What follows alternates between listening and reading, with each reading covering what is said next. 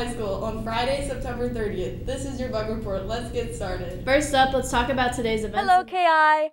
I'm Elise Parks, a senior here at school, and I'm assisting in running our first clubs and activities fair. Our event will take place on Friday during all lunches in the gym.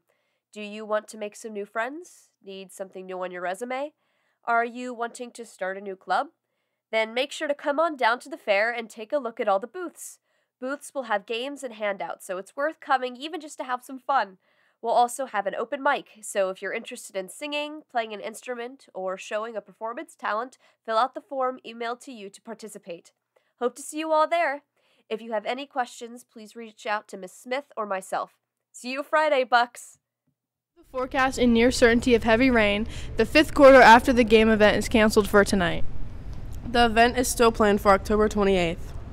Let's go, Bucs. Reps from the University of Maine and St. Mary's College will be here Monday.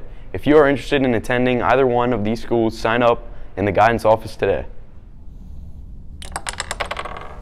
Attention seniors, next week is Maryland College Campaign Week here at KAHS.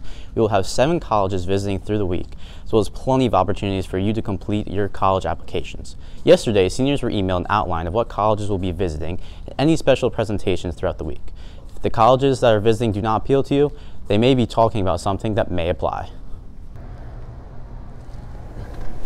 For example, if you're not interested in attending the University of Toledo, but you might be interested in the importance of a college essay, sign up with the University of Toledo on the Naviance app.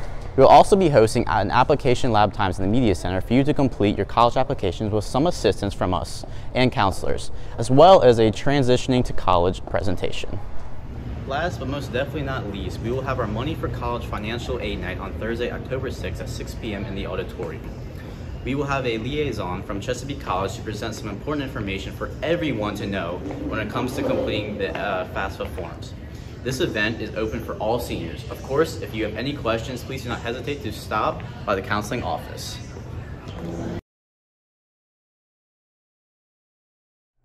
Seniors, your homecoming tickets go on sale October 5th, and you can now get pledge forms and guest forms right outside the guidance office in these two bins.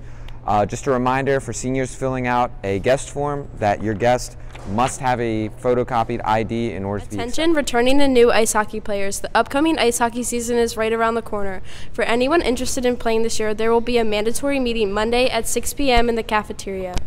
Parents and players must attend. No experience is necessary. All are encouraged to come. If you have any questions or can't make it, please email Mr. Hazy as soon as possible. If you are a senior and applying to colleges, you should attend the Money for College Night Thursday, October 6th at 6 p.m. in the auditorium.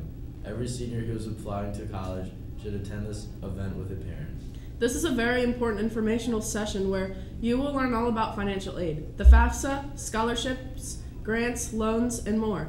This is an absolute must to attend. If you have any questions, please re- reach out to us.